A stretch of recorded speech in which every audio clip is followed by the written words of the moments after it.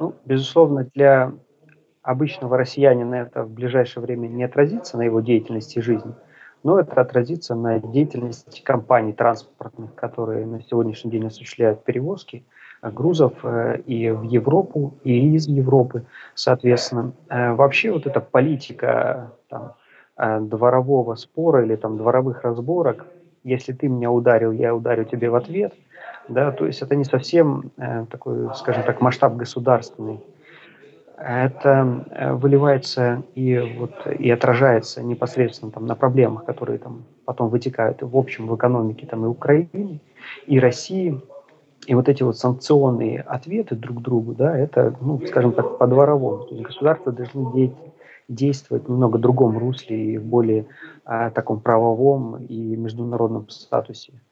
А, естественно, это ударит определенным образом по экономике э, в дальносрочной перспективе, скажем, не в ближайшей, да, естественно, это повлечет а, проблемы и как для перевозчиков в России, как для перевозчиков в Европе, и как для перевозчиков и страны, транспор, страны нейтральной Украины, которая да, получала также серьезные там, таможенные сборы с проезжающих транзитных автомобилей.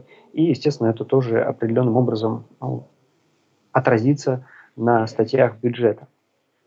На сегодняшний день эта ситуация с запретами, э, первое, там с Польшей не договорились, второе, с Украиной не договорились, и это вынуждает, э, скажем так, перевозчиков российских э, искать там новые пути движения, там, чуть ли не через Финляндию, там, через а, э, Прибалтику, там, да, это, а, соответственно, увеличит затратность и сведет на нет возможность импорта товаров сухопутным путем. Да. Э, теперь вот транспортная, если в ближайшее время этот вопрос не решится, транспортная логистика, вот э, транспортный экспорт, он э, весьма пострадает. То есть здесь пострадают не только транспортные компании, но и большое количество эм, экспортеров, которые посредством этих транспортных компаний производят и перевозят свои грузы в Европу, и в том числе там, страны СНГ, даже через Украину, там, в Молдову ту же самую, да, и страны Южной и э, Центральной Европы.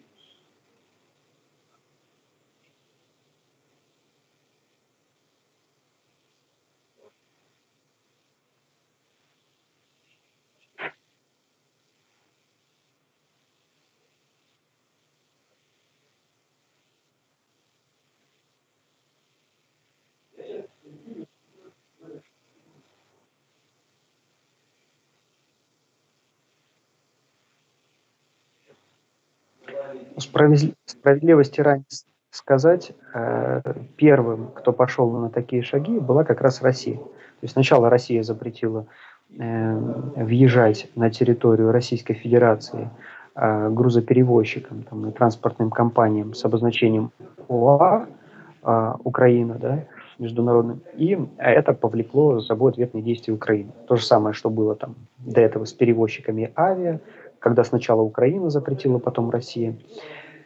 Естественно, это противоборство, оно является отрицательным для экономики и Украины, и России, в том числе Евросоюза. Безусловно, необходимо э, решать эти э, вопросы за столом переговоров и определять выгодные форматы для обеих сторон. Но на сегодняшний день и Украина э, заинтересована в том, чтобы были медийные поводы – в плане э, там, борьбы с э, российскими оккупантами, как это говорится, да, на Украине.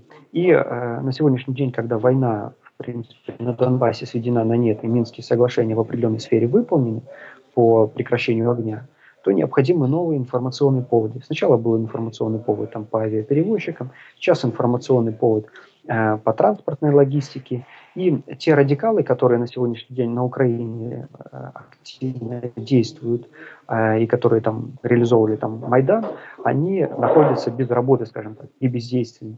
И им необходимо предложить какую-то альтернативу. Это альтернатива, это уничтожение э, столбов электропередачи, которые вели в Крым электроэнергию месяцем ранее.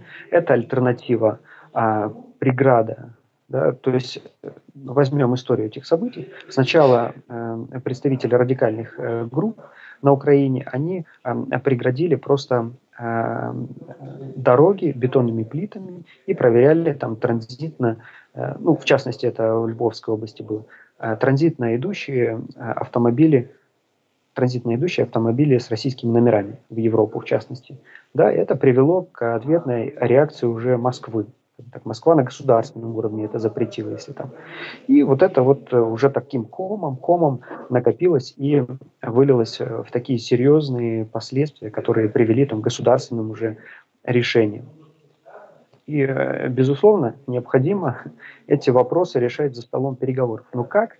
Э, это э, будет выглядеть, когда ни Киев, соответственно, не заинтересован в том, чтобы с Москвой там, эти вопросы решать мирным путем, потому что имиджево Киев считает, ну, Временное правительство в Киеве считает Россию оккупантом, и, соответственно, с оккупантами никаких переговоров, а тем более за столом мирных не может быть речи.